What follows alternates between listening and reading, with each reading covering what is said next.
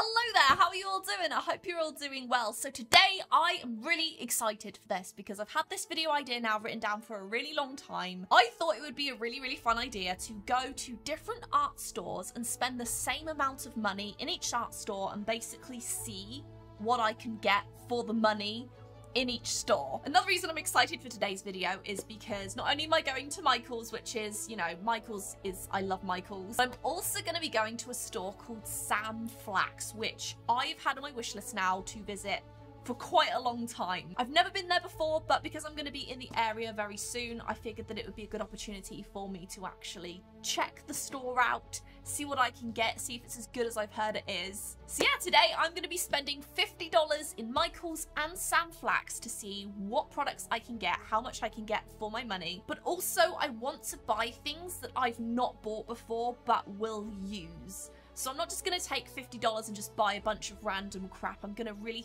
think through what I'm buying. I feel like if you've got a budget and you're going into an art store, you're kind of going there with the mindset that you want to get a good amount of stuff that's probably going to be working together. So I'm going to get art supplies and art tools that work together. If you'd like to see me do this with a smaller budget or a bigger budget or in different art stores like Jerry's Artorama or Blick, let me know in the comments down below, give this video a thumbs up, and if this video gets a good amount of thumbs up and comments, I will head to those stores as well. But yeah, do let me know. And before we start, I want to say thank you so much to Skillshare for sponsoring today's video, and I'll talk a little bit more about them later on in the video. So yeah, I think it's about time we get shopping, and let's get started. So we're at Sam Flax today. Since I was in the area for the Flower and Garden Festival at Epcot, I figured that I would stop by here because I've never been before. I've heard of it, and I think they have a couple of locations, but I'm just so excited to go in. I've never been here before, so I'm really excited to see what they've got. They have a bunch of murals all the way down the building. I would love to paint a mural on a wall for a video one day.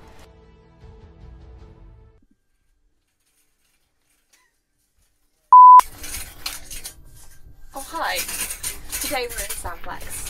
This, this store is huge. It has an upstairs. It's just massive, it goes on forever. Way bigger than it seems like it is outside. So they have a ton of different drawing books here. That's a really good price. A lot of their books are so decently priced, which is unusual for a store that sells books. So the plan is today I'm going to visit two or three different art stores and spend $50 in each one to see which one I can get the most stuff for. Oh, I found the perfect book for me. Awesome. For those that don't know, I was being sarcastic. I hate alcohol. I love the Van Gogh. Someone's been playing with the hands. They have paper in literally every shape, colour and size you can imagine. Cardstock, envelopes. So if you like paper, this is your place. they have a giant section of canvases. Huge.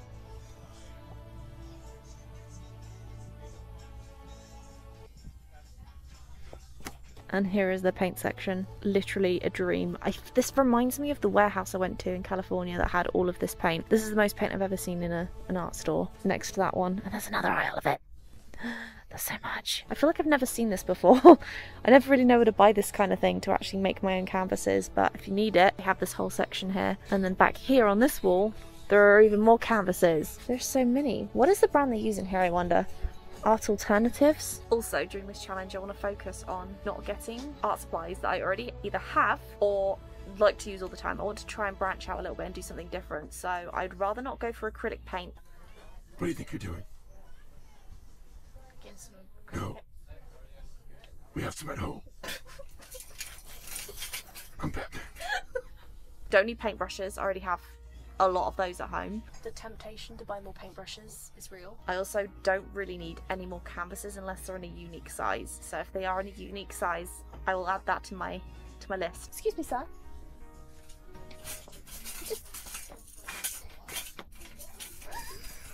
I just found this puzzle. This is the exact picture I have on the back of my wall in my art studio in the background, and it's a puzzle that you can actually do. That's so cool. Oh, they have a they have a bag. I like this bag. Liquid acrylic. I've never heard of that before. Maybe I'm a fake artist, but I've never heard of that. It's very cool though. I did find some waxy crayons, which I'm tempted to use, but then it's like an, a waxy crayon, which I don't really like pastels, that type of thing, but I kind of wanted, I'm kind of tempted to use them at some point. Vincent Pro. Why have I never heard of this before? So, since I'm picking up art supplies that I have virtually zero experience with, this is when Skillshare comes in handy because they have thousands of classes averaging around an hour long in all things art, specific art supplies, business, marketing, photography, illustration, and a ton more. So, if you're looking to learn about a new art supply like myself or how to use it and you want something more in depth than just a regular video, check out the link in the description for the first 1,000 people to get a one month free trial to unlimited classes on Skillshare's online learning community. Millions of people use Skillshare for a good reason. It's really great because the classes have a combination of not just video lessons but class projects. So when you complete the class, you can post your project and get feedback from both the teacher and the community. It's perfect for creatives who want to take the next step in their creative journey, whether you're a lifelong learner, working creative, beginner, pro, dabbler, or master. Part is there are new premium classes launching all the time. Plus, if English is not your first language, their entire catalogue of classes is now available with subtitles in English, Spanish, French, German,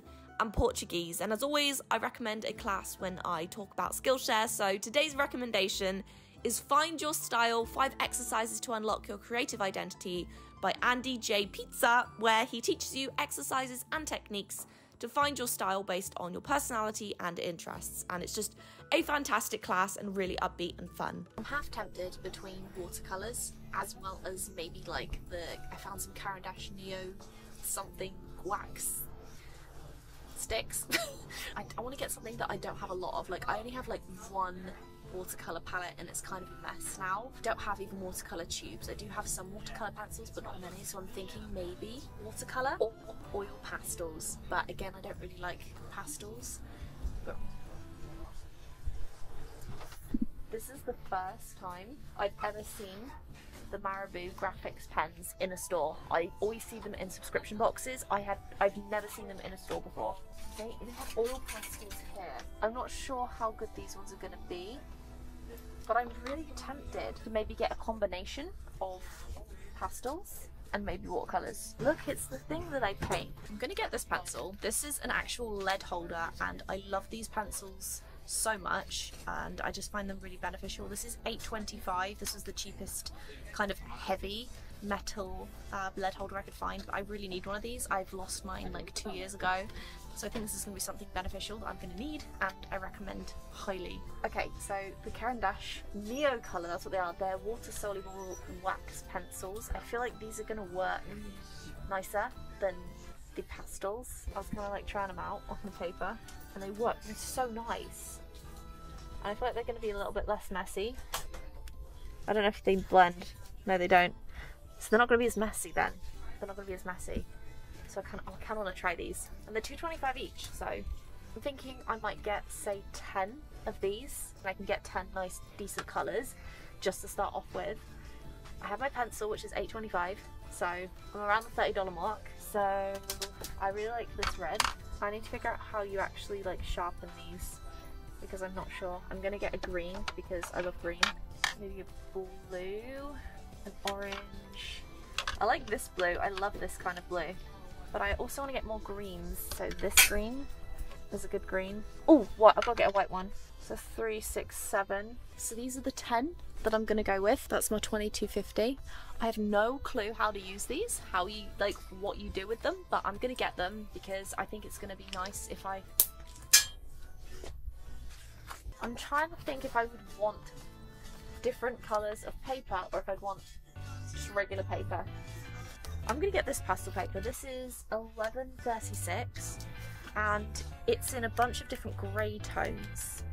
So I just watched a really quick video on YouTube and someone was suggesting you can actually mix it with gesso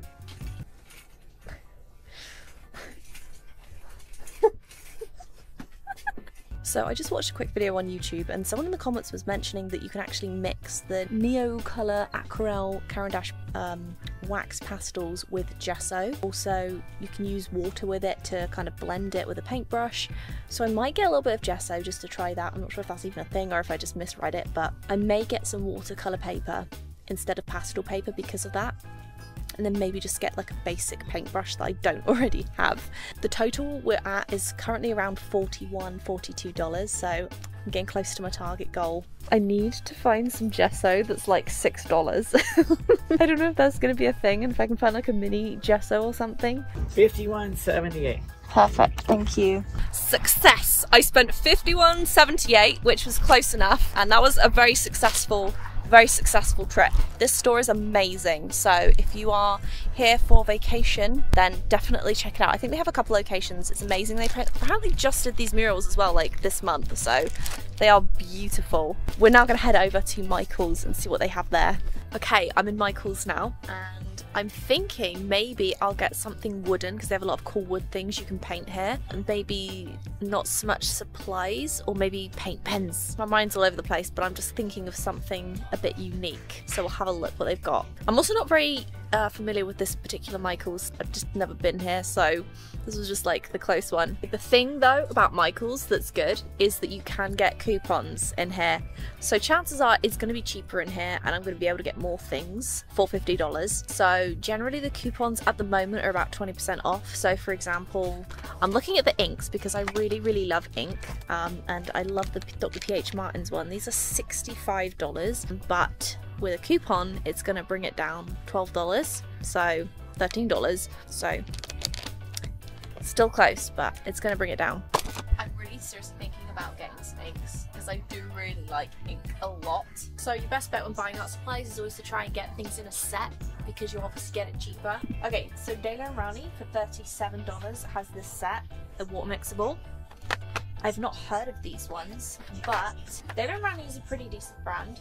Just found some small sets of oil colours. These are water mixable and they are $35. So that means I'm gonna get $7 off. I've decided to go with these because I feel like I've been wanting to try this for a really long time. I'm giving a go again in the video because I've only used oils once before and it didn't go very well from memory. So I'm gonna get these because I think it's a good deal for 20 tubes and oil is gonna last you way longer as well because it just does. okay, so we have some soap here, like brush cleaner. Pink soap is $5. So I'm definitely going to get myself some of that. That takes me to like $35, which means I have another $15 to spend. And I think I'm going to get some sort of maybe... I do not own a paintbrush that looks like this. This one is $12.99. It's very floppy and I feel like this would be very beneficial when it comes to oil. I already have a ton of filberts and shaders because I have my own paintbrushes. Um, that already include that. So I'm getting one of these, which takes me to another $10. So I have about $5 left to spend.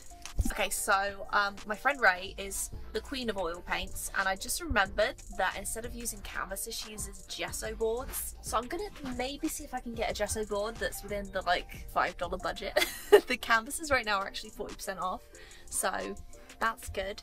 But um, we'll see. I mean, like things like this, we have panels for $8. I don't have to get anything too big. It's just basically to try and find an art medium that I can use for that $50 budget. I don't have gesso boards that I can find, uh, so I'm just to get these flat panels. I would have preferred the gesso boards because they're completely smooth, but this will be fine. These are currently $8, so I'm to get like $1.60 off. So that one came to $51.95 from Michaels, which is amazing because it's like a few cents off of what the other place was. So I think we got a good amount of stuff today. I am going to go ahead and keep this safe and when I eventually get back to my studio, I am going to show you everything that I bought. I'm back. I filmed this video a few weeks ago and I'm finally getting around now to actually showing you everything that I got up close. So for Sam Flax, I actually spent 51.78 and Michael's, I don't know where the receipt went. I'll put it on the screen, but I spent right around that price at Michael's as well. So Sam Flax, I believe they have a couple different locations in the US.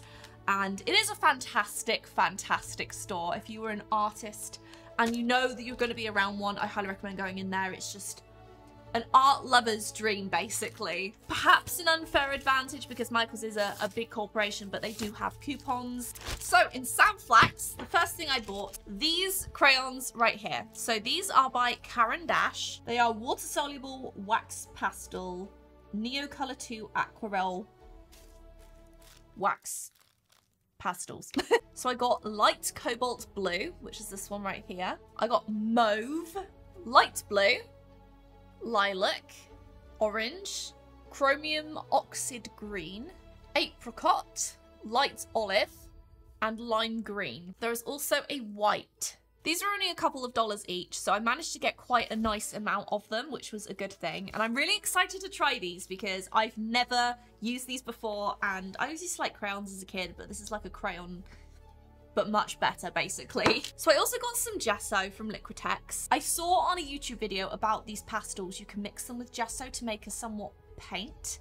Whether I'm going to use this or not, I'm not sure, but um, I can always use gesso for literally everything that I do anyway, so it wasn't a waste. Next up, I got a lead holder professional from Pacific Arc. Now, I absolutely love lead holders. They're basically a regular pencil without the wood, so you can kind of, they're retractable, like a retractable pencil. They're very good. They're quite expensive, which is why I went for the somewhat cheaper one, um, but they all, they all do the same thing. And last but not least, I also bought a Strathmore watercolour travel pad because I felt that pastels would work really well on a watercolour pad like this. Um, I also really liked the size. I think the size is really nice. So that is everything that I got for $50. Um, of course, I got some higher quality stuff. You could easily, easily stretch $50 to more products if you buy cheaper things or slightly less decent quality, but everything that I bought here is high quality products. But the purpose of this video is to say, hey, for $50, you can pretty much get an entire medium's worth of products where you can really try something out. So I'm going to share everything I got from Michaels now, but I'm curious which items and products you will prefer or which haul you think is better for $50. So Michaels, I found the Winsor & Newton Artisan Water Mixable Oil Colours.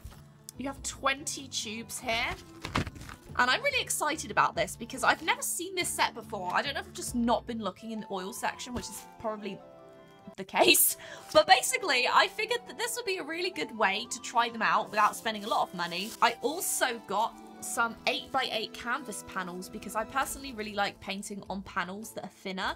I did try to find some gesso board. I couldn't find any in Michael's. I also got myself some pink soap brush cleaner because I actually don't own any brush cleaner, which is shameful as an artist, I know. And last but not least, I bought a Princeton Level 2 oval mop three quarter inch brush.